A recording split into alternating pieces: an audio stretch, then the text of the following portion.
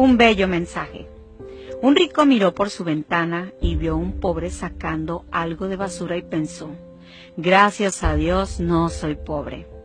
El pobre levantó la vista y vio a un loco en harapos deambulando por la calle y pensó, gracias a Dios no estoy loco. El loco miró hacia adelante y vio pasar una ambulancia y dijo a sí mismo, gracias a Dios no estoy enfermo.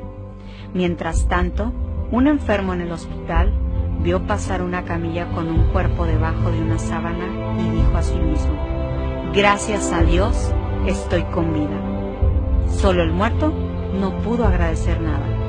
¿Por qué no le agradeces a Dios hoy por todas las bendiciones y por el regalo de la vida y por este día tan lindo? ¿Qué es vida?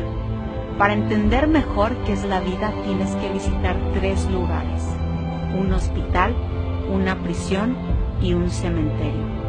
En el hospital verás que no hay nada más lindo que la salud. En la prisión verás que no hay nada más precioso que la libertad.